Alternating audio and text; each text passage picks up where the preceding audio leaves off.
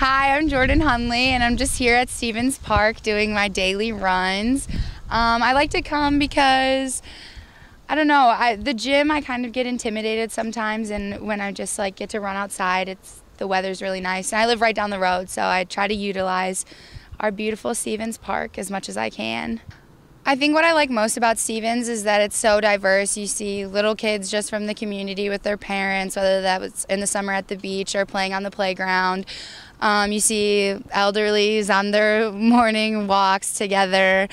Um, if you want to pet a dog, definitely come to Stephens. There's lots of furry friends here. Also, as cool as they have like a little free library here that's offered to anybody that comes, whether they're running or just want to read a book. Sometimes I like to bring my roommates, and if they get out of bed and just go for a run, I try to come like two or three times a week because it's just nice and fresh air and a little bit of a stress relief and break from school.